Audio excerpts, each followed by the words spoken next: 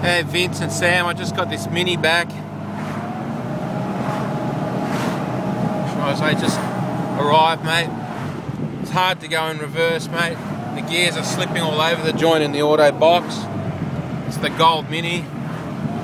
Mate, the auto is absolutely fucked and fried, unfortunately, guys. Um, it would have been nice if uh, someone could have taken this for a drive before he sent it to Australia. Maybe could have